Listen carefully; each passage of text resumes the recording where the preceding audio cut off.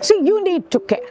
Let's be clear about this. There are no two questions about this. And the reason is very simple. You and I are responsible for the stock of greenhouse gases in the air. So what does it mean? It means that we have emitted because of our consumption, our use of fossil fuels, we drive a car, we use an air conditioner, we live in a house which has heating, cooling, all these contribute to emissions of carbon dioxide, of other greenhouse gases.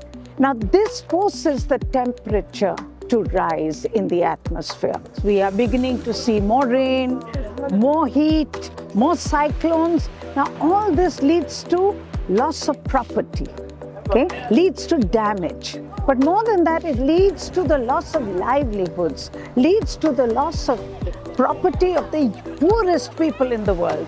And these are communities that are not responsible for the stock of greenhouse gases, which is leading to climate change. Growing up, um, I've seen, I've noticed that some of the beaches in Seychelles are eroding away we're losing our most precious beaches and also our roads, our infrastructures, as well as are, are being impacted by sea level rises. We often refer to climate finance as donations, but we as small island states, we see it as climate justice.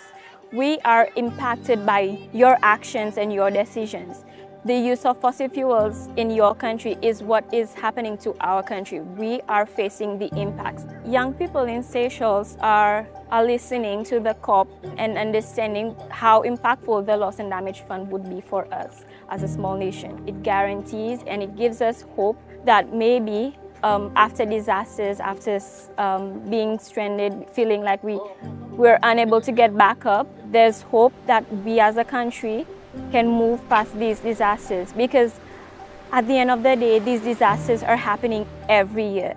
We are going through this right now and we do not want the, our future generation to go through the same thing.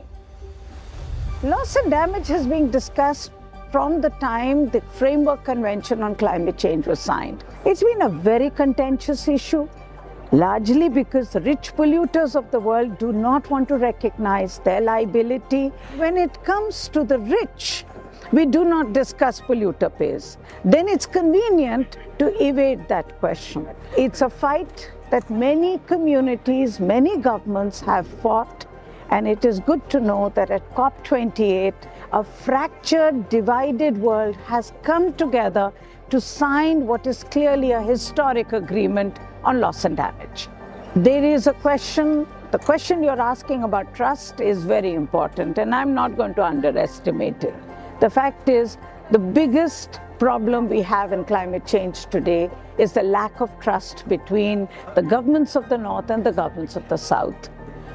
Loss and damage is one effort to try and repair that trust. There are many holes in it, and I can tell you the very word voluntary, when it comes to payment for the funds, is a fatal flaw in the agreement. But for the moment, I'm just asking you to hold your breath because this is too important a moment.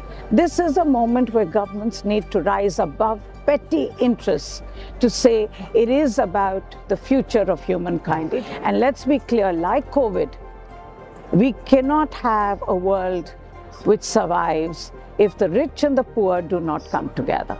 So this is one of those moments of truth.